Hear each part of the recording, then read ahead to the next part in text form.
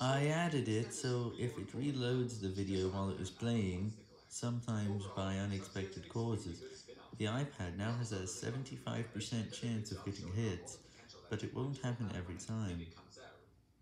Oh, and it won't be too bad, so it wouldn't be hard. Instead, it would be a gentle one, because I don't want to do much damage. Okay.